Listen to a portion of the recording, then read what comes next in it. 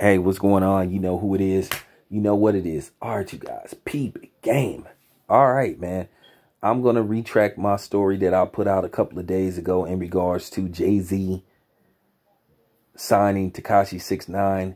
Now, keep in mind, I'm going to give you guys some additional information after I get through talking. Now, uh, people from Roc Nation, the Roc Nation team, uh, representatives have came out and said that there is no truth mm, to Jay-Z being interested in signing Tekashi 69. Now, keep in mind, this story broke Sunday, and basically people were in outraged, uh, basically overhearing the rumor that Jay-Z would sign a, a, a rat, and not to mention a, a pedophile. Now, the Roc Nation team has said it's no truth to it. They said this is fake news. Always watch out for that terminology, fake news. You know, I'm gonna be honest with you.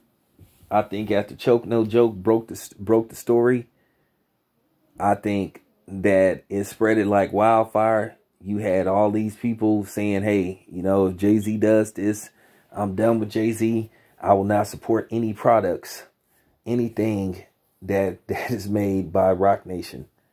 So what I think happened, I think it got back to Jay Z, and Jay Z was like, "Nah, I think we better kill the deal. Nah, no Tekashi six nine, hope." So that's probably what happened. I believe that. I believe that it got back to Jay Z that people was in out was outraged. So me myself, there also was reports that Tekashi 69 and some people on the video said had on Roc Nation gear. Why is that? Could it be a coincidence? Hmm. But it appears there is no deal in place for Roc Nation to sign Tekashi 69. Because like I said, that Jay-Z, that would have been the ultimate bitch move if he would have did something like that. I'm talking about Jay-Z's when I say Jay Z would have been frowned upon as just being the ultimate coon, and I'm glad if Jay, I'm glad whether you believe the Roc Nation team or not. I'm glad if it was true that we put enough pressure on Jay Z for him to just back out of this deal. So let these clowns that that worship Tekashi Six Nine. He yeah he having this moment for right now, but you know I I believe his fa- his his flame is going to you know fizzle out.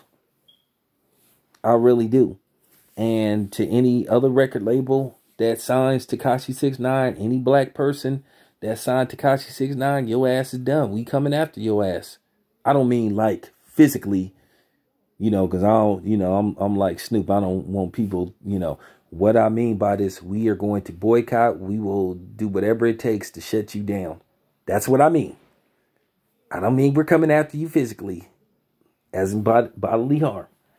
But anybody that signs Tekashi Six Nine, you done. Any rapper that do a song with Tekashi Six Nine, you're done. And Meek Mills has been going at it with him again. And, you know, shout out to Meek Mill, man. You know, we got to stand tall, man. At the end of the day, this dude is an outsider. This dude is a spy. This dude is a snitch. He's an op. As black people, we need to get rid of this punk. You know, for real. We shouldn't support this dude no type of way. We need not pay attention to anybody that support this dude. As far as I'm concerned, anybody that support Tekashi 69, stay the hell off my channel. You an enemy of mine. Real talk. This your boy Town Biz. I'm out.